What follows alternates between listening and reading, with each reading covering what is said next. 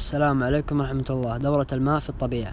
تعرف دورة الماء في الطبيعة بأنها الدورة الدورة المسؤولة عن حركة الماء في, النظام الغلاف الجوي للأرض وتتمثل في العديد من العمليات كالتبخر والنتح والتكاثف والهطول والجريان السطحي وغيرها حيث يتم من خلال هذه الدورة إعادة تدوير الماء للمحافظة على وجود المسطحات المائية والاستمرارية تكاثف السحب وهطول الأمطار على مر الأزمنة.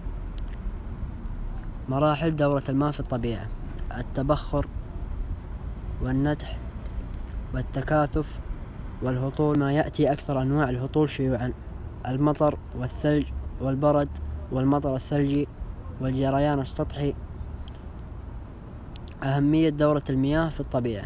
تكمن أهمية دورة المياه في الطبيعة بما يأتي. توفير المياه العذبة اللازمة لكافة الكائنات الحية على كوكب الأرض. وتجديد مصادرها على الكرة الأرضية.